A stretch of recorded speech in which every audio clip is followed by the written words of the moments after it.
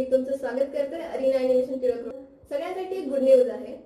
Mind matrix या Pune best कंपनीकडून आपल्या इथे कॅम्पस ड्राईव्ह झाला होता. त्यामध्ये सात स्टुडंट्सनी पार्टिसिपेट केलं होतं. त्यापैकी चार स्टुडंटचं सिलेक्शन आपल्या सेंटरमधून झालेलं आहे आणि ती स्टुडंट्स आपल्याकडे आज इथे उपस्थित आहे तर चला जाणून घेऊया त्यांचा अनुभव आणि विचारून घेऊया त्यांच्या प्रवासाबद्दल थोडी माहिती. आपल्यासोबत विकास केवट आहे ज्यांचं सिलेक्शन माइंड मॅट्रिक्समध्ये झालेलं आहे. तर चला विचारूया.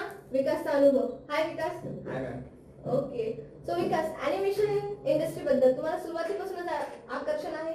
नाही असं काहीच नव्हतं की मला अॅनिमेशन फील्डमध्ये स्टार्टिंगपासून हे होतं. जस्ट मला काही दुसरं सुचलं नाही. सो आय डिसाइडेड की मला असं काहीतरी करायचंय की जे स्टडी टू रिलेटेड नसलं पाहिजे. कारण स्कूल पासून मला स्टडीजमध्ये काहीच इंटरेस्ट नव्हतं.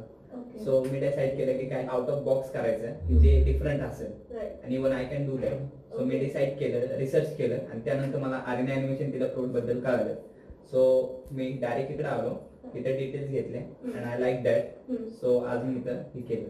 ओके तुम्हाला किती दिवस झाले इथे कोर्स जॉईन करून नियर बाय मला वन इयर झालेले माझा कोर्स होतं. आणि वन इयर कंप्लीट करताच. हा. जस्ट कंप्लीट केलं after ten to fifteen days. मला जॉब प्लेसमेंट झाली. Okay I really thanks to Aryan animation तिला प्रोड दॅट बिकॉज देम मला जॉब लागले.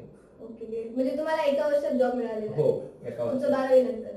सडनली ट्वेल्थ नंतर ओके मग तुमचे घरचे यावर काय म्हणतात? ते खुश आहेत पेरेंट्स हो घरचे तर खूप खुश झाले. कारण अं, घरच्यांना हे माहीत नव्हतं की घरच्यांचं म्हणणं काय होतं की ह्या फील्डमध्ये तुला जॉब लागेल का? जॉब गॅरंटीड आहे का? तू काही करशील का? कारण माझं स्टार्टिंग पासूनच काहीच नव्हतं असं. मग जेव्हा मी त्यांना सांगितलं की जस्ट माझा कोर्स संपले आणि मला आता जॉब लागले तर सगळे हॅपी झाले. मोस्टली पप्पा खूप खुश झाले. ओके की. तुमचा अनुभव खूप चांगला आहे. Thank you ma'am